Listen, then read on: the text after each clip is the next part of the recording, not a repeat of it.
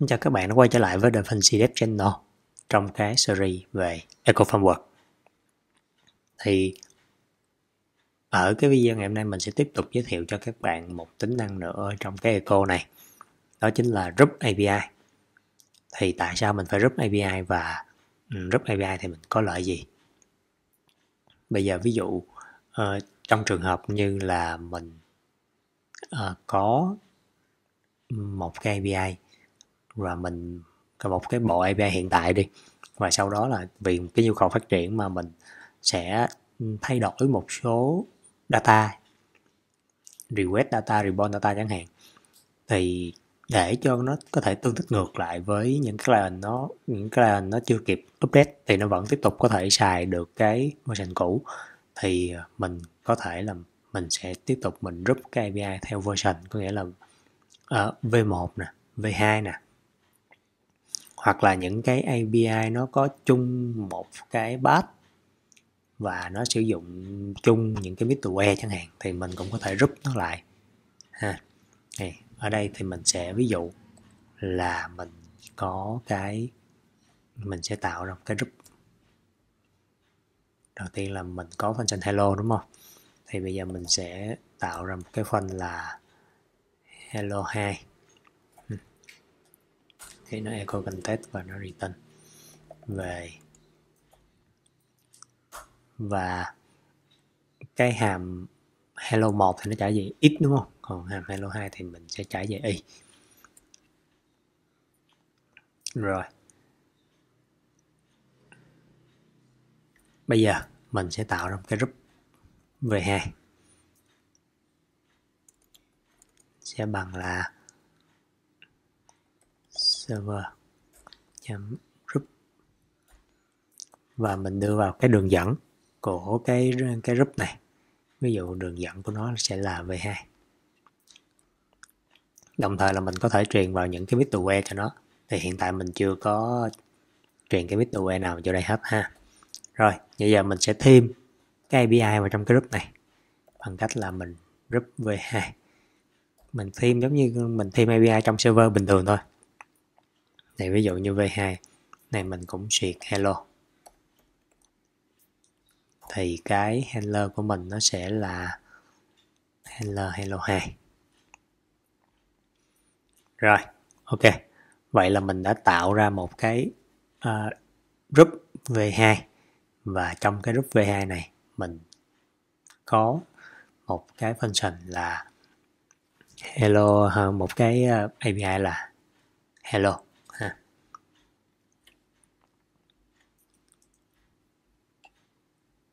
rồi, mình có thể tạo thêm một cái cái gì nữa ta? Ví dụ như user đi. User.go bucket handler luôn, ha. Thì mình cũng sẽ import theo giống vậy đi.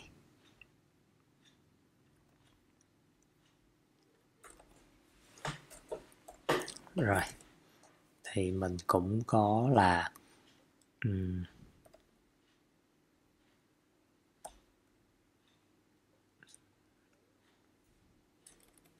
get user chẳng hạn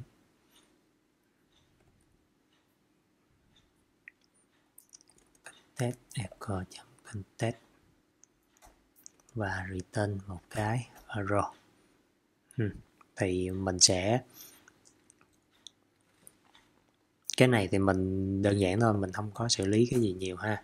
Mình chỉ muốn demo cho các bạn xem cái việc group API thôi. Còn cái việc implement như thế nào thì tạm thời mình nó có ý nghĩa gì hay không thì mình mình mình bỏ qua ha. What?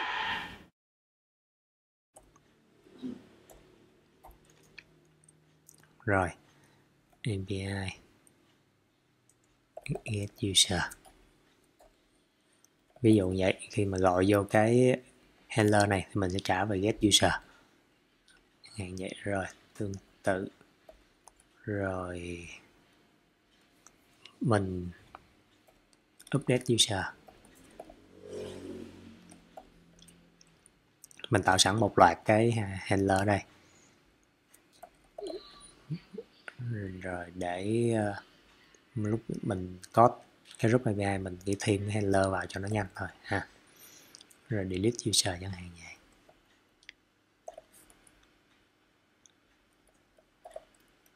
Ok chưa? Rồi. Vậy thì bây giờ cái group tiếp theo mà mình muốn là cái group user. Yeah. thì nó sẽ là server group và suite của nó là ví dụ như là dài hơn xíu đi cái API duyệt user đấy chẳng hạn vậy. Rồi. Thì trong cái uh, group user này mình sẽ add cứ get hết đi cho nó dễ ha. Là get user nè. Thì nó sẽ là handler get user. Group user chấm update. Thì thôi vậy là cứ get thôi. Rồi thì handler chấm uh, update. User rồi group.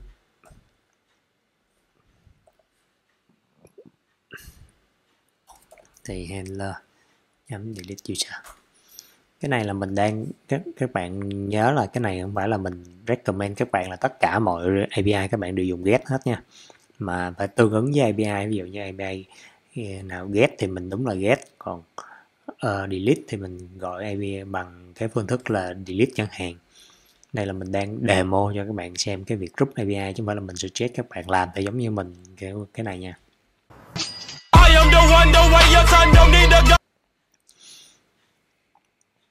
Rồi.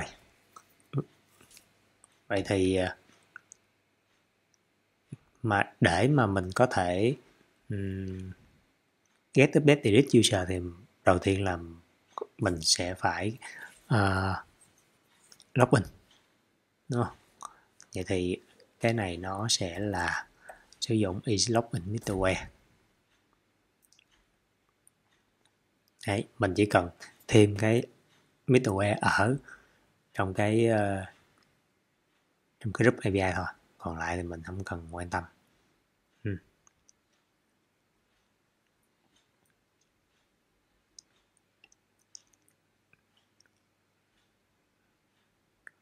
Rồi ok. Vậy là bây giờ mình có thể chạy lên thử.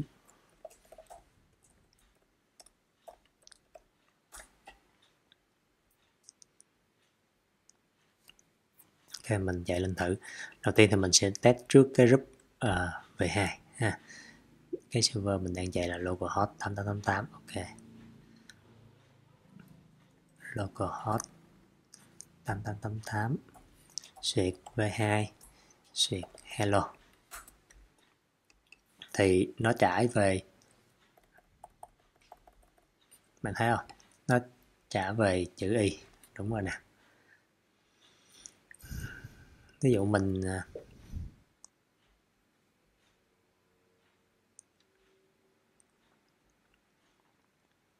mình gọi tiếp cái API suite user, nó request login, đúng không? Thì bây giờ mình sẽ gọi thử vào trong đó xem nó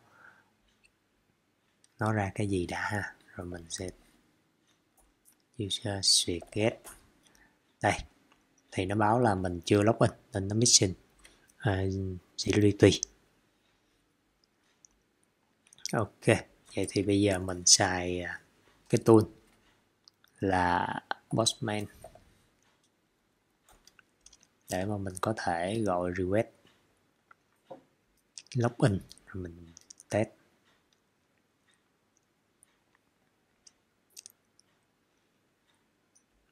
Rồi ví dụ như trong cái ờ, uh, request này. Này mình request login của mình đây localhost 888 xuyệt login mình login với cái username và password như vậy ha.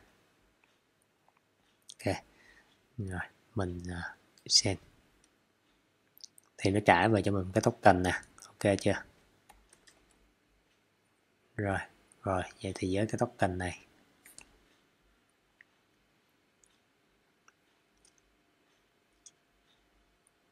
Mình sẽ thêm vào đây.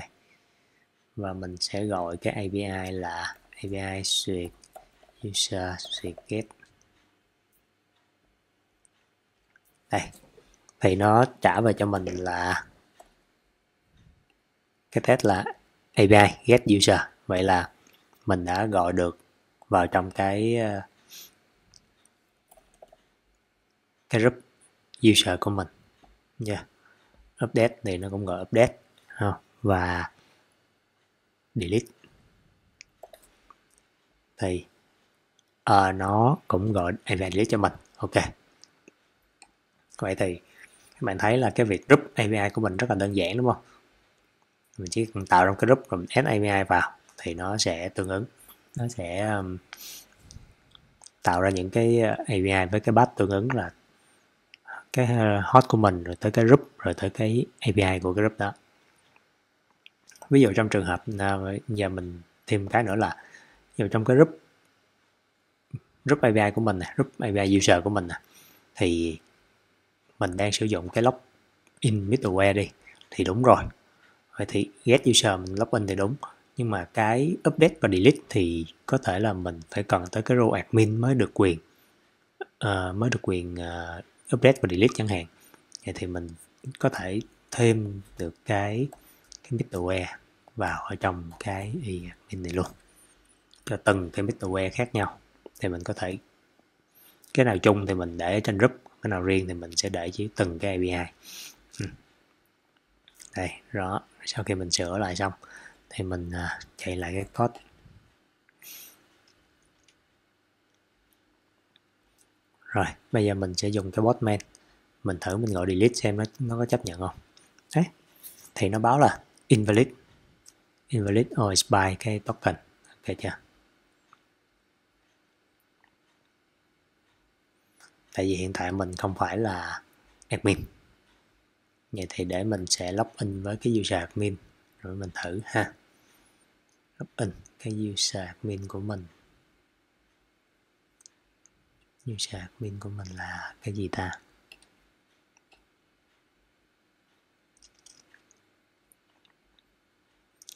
Nó cũng là à, username là admin thôi. Rồi bây giờ mình quay lại mình mình login.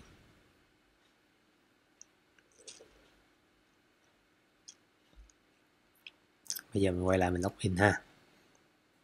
Login bằng tài khoản admin. Ok nó cho mình cái token mới. Bây giờ mình cầm cái token mới này. Mình gọi lên cái API delete user. API user delete này. Gọi lên. Đây, bây giờ thì nó được rồi nè. Ha rồi API update. Đấy, tương tự. Thì nó cũng đã gọi được cái API update user của mình. Vậy thì cái group API của mình rất là đơn giản. Nó cũng tương tự như cái việc mà mình thêm API ở trong server. Thì bây giờ mình tạo ra một cái group và mình đưa những cái API mà mình cần rút lại. Chung middleware chung version, chung batch như thế nào đó. Thì tùy theo cái nhu cầu của mình mà mình sẽ rút những cái API còn lại của mình theo cái nhu cầu đó, ha. Và cái việc sử dụng middleware cho từng API hoặc là nguyên cả group nó cũng rất là dễ thôi. Đó. tương tự mình đã demo cho các bạn thấy. Mình sẽ nhắc lại lần nữa là ở đây mình chỉ demo cái việc các bạn rút API thôi nha chứ mình không có khuyến khích các bạn là uh, làm theo mình là tất cả mọi API đều là get hết hay là là thế này thế kia nha. Mình đây là chỉ đang giống như là đưa ra những cái khái niệm vào cái demo cái giống như là ví dụ. Còn thực tế các bạn phải làm nó một cách hoàn chỉnh hơn tròn trịa hơn. Ví dụ những cái ví dụ như delete này thì các bạn không không được gọi get mà các bạn phải gọi là delete chẳng hạn như vậy. Đó. Thì đó mới gọi là một cách đúng đắn để mà khi mình thiết kế một cái API nhìn cho nó chuyên nghiệp. Còn đây là mình chỉ càng cố gắng giới thiệu cho các bạn về những cái khái niệm để cho các bạn biết và khi các bạn lập trình thì các bạn có thể áp dụng vào những cái khái niệm này vào những cái uh, dự án thực tế của các bạn ha. rồi thì cái video ngày hôm nay nó chỉ uh, dừng lại ở mức đơn giản vậy thôi. Uhm, không có gì đó quá là phức tạp. À, hẹn gặp lại các bạn ở trong những cái video kế tiếp. Xin chào. Nếu mà thấy hay thì các bạn cứ like subscribe kênh của mình ha. Rồi mọi thắc mắc thì các bạn có thể uh, tham gia vào fanpage hoặc cái group có tài giải của mình. Thì uh, mọi thắc mắc các bạn đưa lên trên đó. Thì có thời gian thì mọi người sẽ cùng nhau thảo luận và trả lời. Ha cảm ơn các bạn. Xin chào.